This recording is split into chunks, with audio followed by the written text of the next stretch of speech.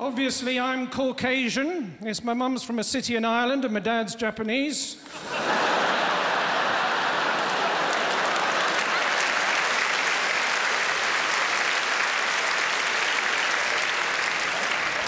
Couldn't sleep last night. I was too hot.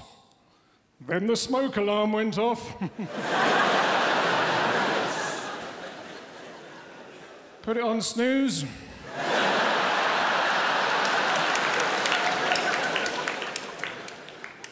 Then the phone went off.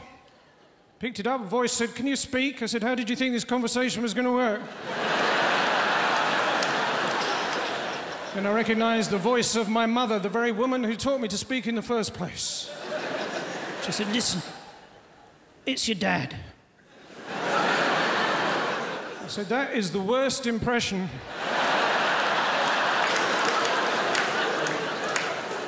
Do you ever have a conversation with someone and towards the end they say, Well, I'll let you go?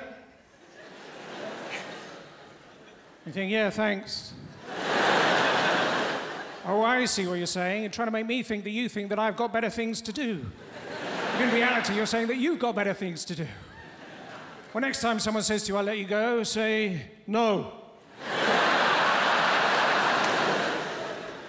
Shut the door. If they make a sudden dive for the window, grab them by their ankles.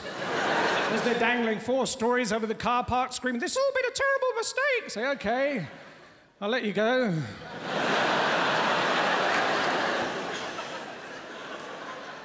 so it turns out, not all horses are Trojan horses.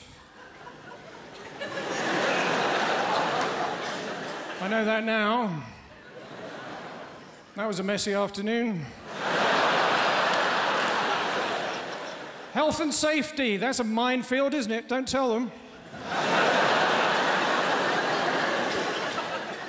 I used to work in IKEA, selling over 7,000 different items. Give me a number between 1 and 7,000, I'll tell you about it. Eight, sorry, out of stock.